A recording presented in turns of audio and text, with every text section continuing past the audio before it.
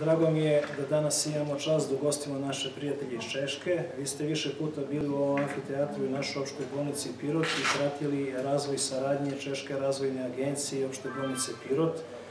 Donacijom Češke republike opštoj bolnici Pirot je stigla značajna oprema u vrednosti od 400.000 eura. Danas smo sa ambasadorom obišli deo te opreme jer je najveći deo opreme se nalazi u operacijonom bloku gde se rade operacije trenutno i u odelenju intenzivne nege, te zbog sterilnosti tamo nismo bili. Obišli smo koronarnu jedinicu gde se nalaze Linetovi kreveti, najkvalitetniji kreveti u Evropi koji izrađuje češka firma.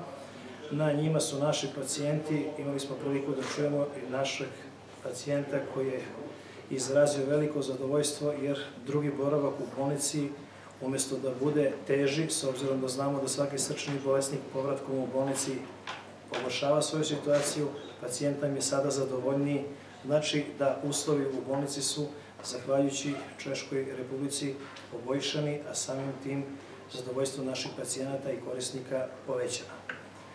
E, nadam se da će se saradnja nastaviti. Znate da je naši četiri lekara bilo u Češkoj na edukaciji za laparoskopske minimalno invazivne operacije, u dogovoru sa ambasadorom nadamo se da ćemo u nekom periodu omogućiti i da i češki lekari dođu ovde u Pirotu i urade operacije i da na našem terenu, u našim uslovima i sa našom opremom koja je sada već naša jer smo stekli pravo na nju posle par godina, možemo da pružimo pomoć našim ljudima.